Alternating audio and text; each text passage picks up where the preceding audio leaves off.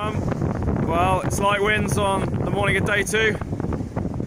Um, pleased to say we are just uh, about in the leads, just ahead of V and B. As you can see, it's pretty calm.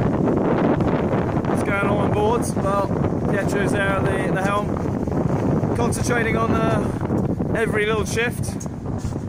Uh, Roma's um, actually eating some healthy foods. And Pablo, Pablo is uh, eating what he calls breakfast. Uh, what have you got? It's chorizo. 100% energy for your muscles. Ah. I'm sorry about that. um, so yesterday we had a bit of a problem. Um, as you can see, uh, we've had to make a lashing over this track because the the support uh, completely broke. Uh, not only on that side, but also on this side here. Uh, as you can see, there's a there's a gap there. So um, I really hope that that holds out. Uh, so we're watching it, keeping a close eye on it, and uh, the good thing is we're able to race at full speed.